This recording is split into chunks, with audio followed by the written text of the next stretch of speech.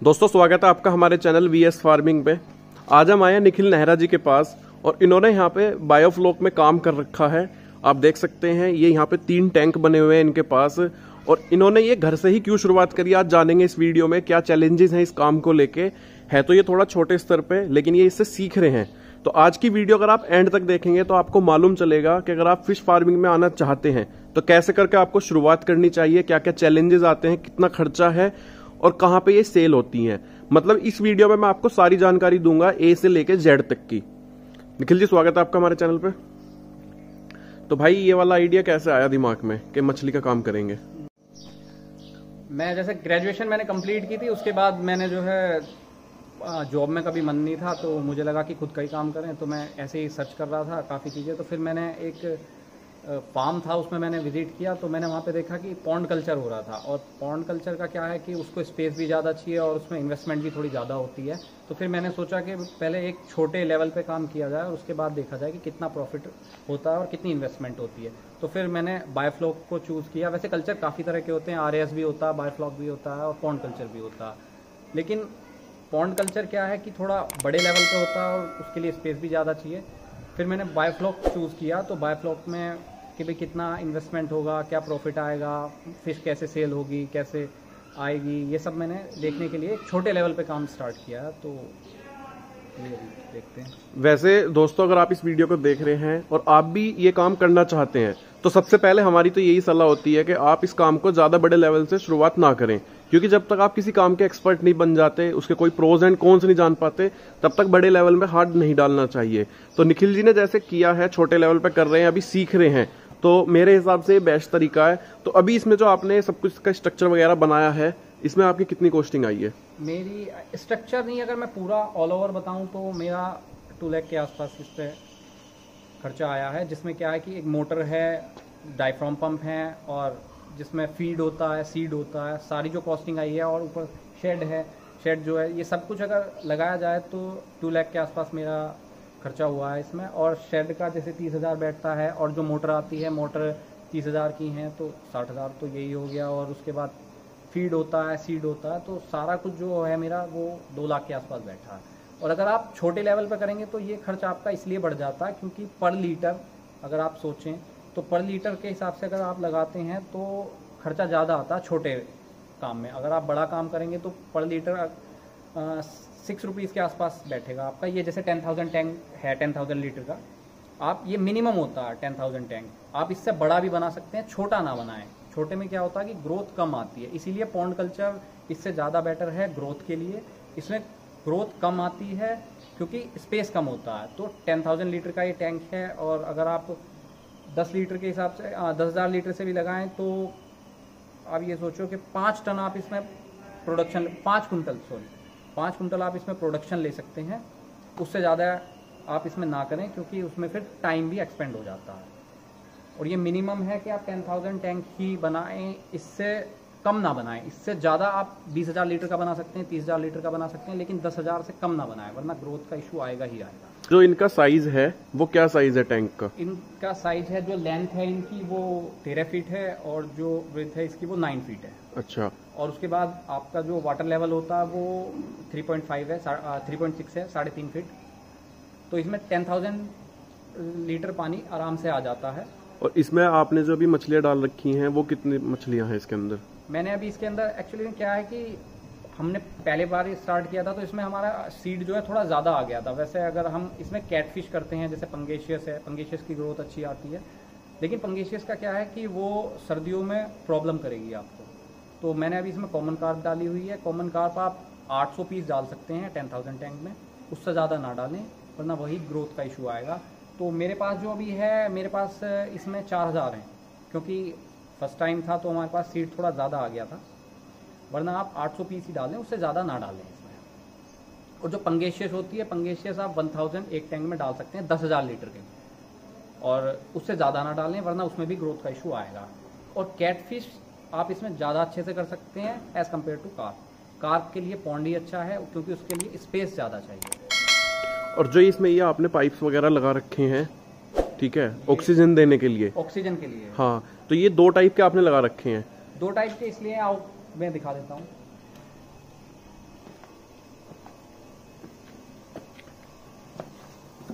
जो ये बड़े वाले पाइप हैं ये रिंग ब्लोवर के लिए हैं ताकि एरिएशन अच्छा रहे।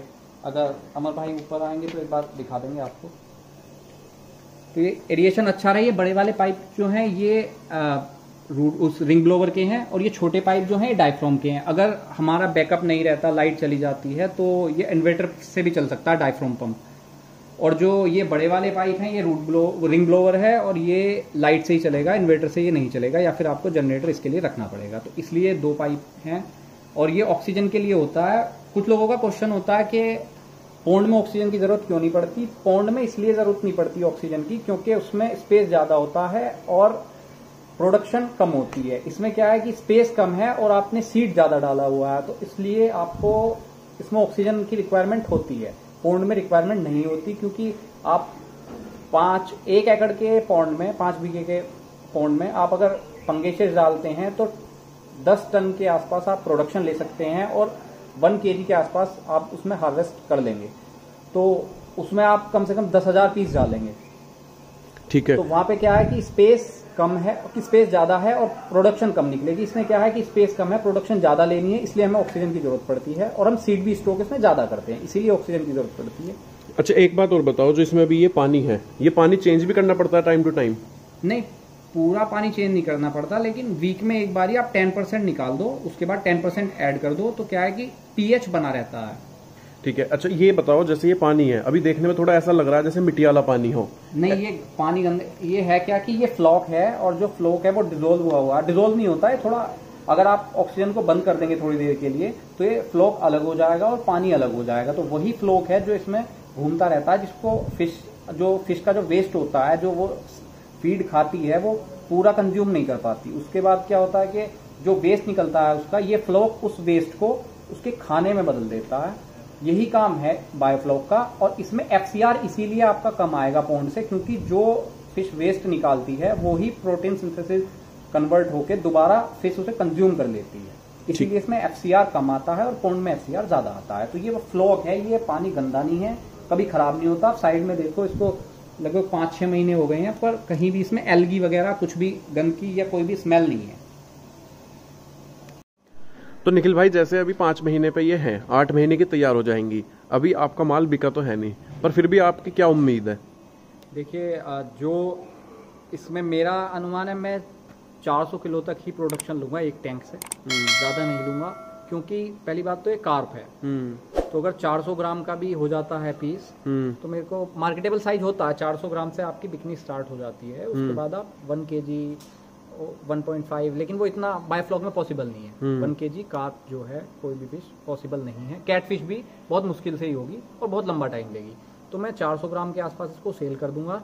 और देखो मेरे पास सीड थोड़ा ज़्यादा आ गया मेरा फ़र्स्ट कल्चर भी था तो मुझे देखो दिक्कतें आएँगी। हो सकता है कि मैं 400 ना ले जा पाऊँ 400 किलो साढ़े तीन के आसपास रह जाए क्योंकि फ़र्स्ट कल्चर है और मेरे पास सीड भी थोड़ा ज़्यादा आ गया था। तो इसलिए थोड़ा हो सकता है कि वेट में थोड़ी प्रॉब्लम आ जाए कम आ जाए लेकिन हाँ मेरा 400 मेरा टारगेट है कि मैं 400 ग्राम के आसपास एक फ़िश का और 1000 पीस हैं तो यानी कि 400 किलो मैं इसको सेल कर दूँ एक टैंक से। हम्म। तो वो देखते हैं अब हार्वेस्टिंग पे कि कितना आता है।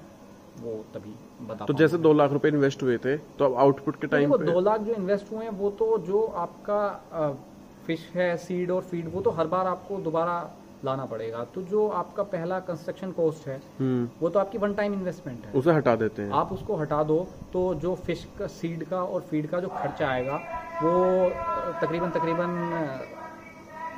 नब्बे हज़ार के आसपास आएगा मैक्सिमम। इससे ज़्यादा नहीं आएगा। और ये भी कार्प पे कैट फ़िश पे कम आएगा। तो जो जैसा कि मैं अभी बता रहा था कि इसमें मेरा नब्बे हज़ार के आसपास खर्च आएगा और जो पहला इन्वेस्टमेंट होता है कि सीड और फ़ीड का, ये तो हर बार ही आपका ये ही रहेगा। ये मैक्सिमम मैंने बताया है, इससे कम भी आता है लोगों का। एफ़ सी आर कार्प में कम आता है, लेकिन होता क्या है कि मैं जो आपको सजेस्ट करता हूँ, आप इसमें कैटफिश ही करें, उसी की ग्रोथ अच्छी आती है। कार्प की इसमें ग्रोथ इतनी अच्छी नहीं आती है। आप कैटफिश ही करें कैटफिश का एफ़ सी आर का ज़ीरो पॉइंट सेवन भी आएगा। तो आपका जो इन्वेस्टमेंट होगी वो बहुत कम हो जाएगी। हम्म। और अभी जैसे मेरा मैं बता रहा हूँ अस्सी से नब्बे हज़ार के आसपास ये आएगा तो अगर मैं चार सौ से भी इसको सेल करता हूँ तो मेरा लगभग एक लाख चालीस हज़ार के आसपास ये सेल होगा। मैक्सिमम उसमें है। एक लाख आप चालीस ना लगाएँ एक लाख बीस भी लगा लें क्योंकि वन ट्वेंटी इसका रेट होता है हाफ़ के जी अगर हाफ़ के जी की फ़िश है और दो फ़िश हैं यानी कि एक के जी जो है वो 120 होता है जो कार्प का है। पंगेशियस का क्या होता है? पंगेशियस का सौ भी चला जाता है नब्बे भी चला जाता। ये फ्लक्चुएशन होता रहता है और अभी जैसे कि लॉकडाउन है तो थोड़ा, आप समझ सकते हैं रेट थोड़ा डाउन ही होगा। तो 120 के आदि अगर हम पकड़ें रेट को तो एक लाख चालीस हज़ार के आसपास ये सेल हो जाएगी। और इतना ही आपका ये आता है, जो वन टाइम इन्वेस्टमेंट है, वो जो आपने कंस्ट्रक्शन कर ली, वो तो कहीं जानी नहीं है, वो तो यहीं पे रहना है। तो हर बार ही आपको इतना ही हर बार इन्वेस्ट करना है। हाँ और मैं कैट फ़िश का बता सकता हूँ। कैट फ़िश में अगर आप पंगेशियस इसमें डालते हैं, जो एक्यूरेट होता है, वो एक टैंक से लगभग पंद्रह से सोलह हज़ार आप इजीली बचा सकते हैं। ये मैंने मिनिमम बताया मैक्सिमम नहीं, क्योंकि कई बार क्या होता है, अगर हम मैक्सिमम बता देते हैं और बंदा कम पे चला जाता तो थोड़ा डिमोटिवेट हो जाता। इसलिए आप 15 से सोलह हज़ार एक टैंक से छः महीने में आप निकाल सकते हैं। लेकिन याद रखें कि कैट फ़िश में पंगेशियस को सर्दियों में ना करें, सर्दियों में आपको ब्रीड चेंज करनी पड़ेगी। वरना वो दिक्कत दें तो दोस्तों, आज की वीडियो में यही सब बातें थी जो निखिल भाई ने डिटेल में कवर किया है। अगर आपको वीडियो पसंद आई है, वीडियो को लाइक करें शेयर करें और हमारे चैनल को सब्सक्राइब करें। वीडियो एंड तक देखने के लिए थैंक यू वेरी मच